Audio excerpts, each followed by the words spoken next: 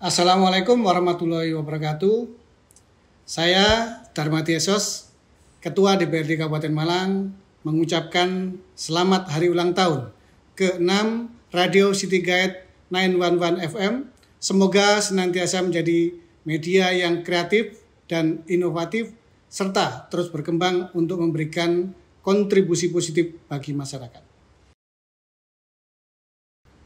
Radio adalah jendela dunia sumber inspirasi dan informasi berharga.